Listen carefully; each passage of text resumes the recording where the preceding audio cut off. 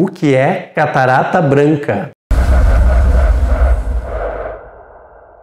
Tudo bom, pessoal? Aqui quem fala é Mário Bula, médico oftalmologista, cirurgião de retina. Seja mais uma vez muito bem-vindo ao canal Retina e Vitro, que é o canal mais completo sobre retina do YouTube.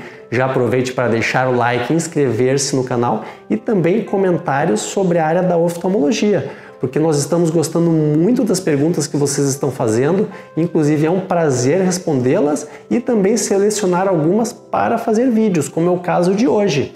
Este paciente faz uma pergunta muito interessante que é relativo aos tipos de catarata. No caso aqui, ele questiona o que é a catarata branca. Nós já temos um outro vídeo muito bom que eu recomendo que você assista sobre os tipos de catarata.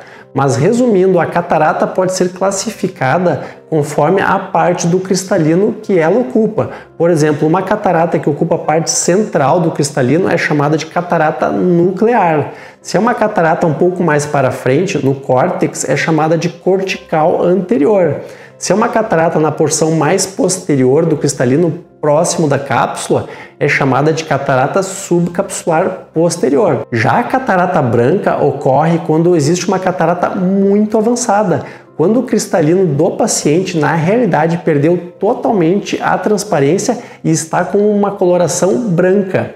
Inclusive, a catarata branca é o próprio motivo desta doença ter o nome de catarata porque catarata, como vocês sabem, é uma espécie de cachoeira, como por exemplo as cataratas do Iguaçu, e quando a água cai, ela forma aquela espuma que fica com aspecto branco. E isso refere realmente a uma catarata branca. Por quê? Porque antigamente a cirurgia da catarata era algo muito complicado e era esperado o paciente ficar com uma catarata extremamente avançada antes de fazer a cirurgia.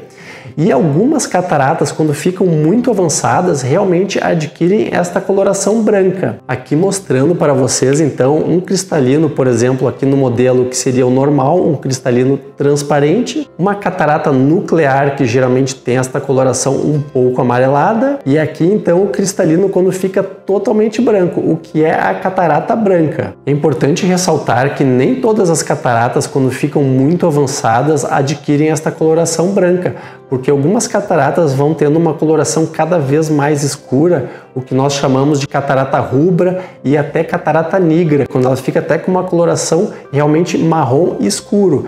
E essas cataratas, quando tem uma coloração mais escura, tendem a ser até mais duras do que a catarata branca. Porque na catarata branca, o córtex do cristalino muitas vezes acaba ficando ali esbranquiçado, mas não fica duro. E é importante ressaltar que alguns casos de catarata, quando acontece bastante rápido, principalmente após um traumatismo ocular, ou muito comumente em pacientes diabéticos, principalmente diabéticos jovens, quando tem uma glicemia muito descontrolada, pode acontecer de forma até aguda, de forma bastante rápida, a formação de uma catarata. E esta catarata pode adquirir a coloração branca.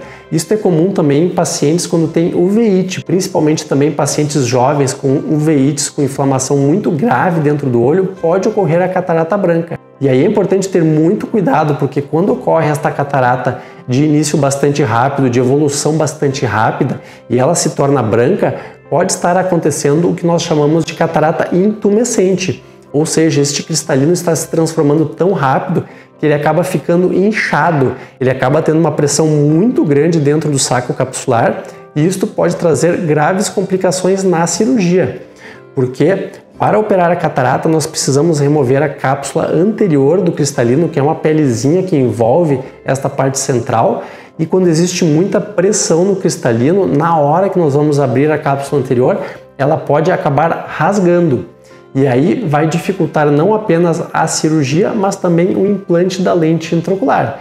É claro que é um problema que pode ser remediado durante a cirurgia, mas traz uma série de dificuldades que não estão presentes quando operamos uma catarata mais simples, principalmente uma catarata mais inicial. E uma coisa bem importante, na catarata branca, como o cristalino realmente está totalmente opaco, a visão do paciente é muito ruim. É uma catarata realmente muito avançada, seja ela rápida ou mais demorada, mas a visão do paciente geralmente não passa de vultos, ele não consegue muitas vezes nem enxergar os dedos quando colocamos pertinho.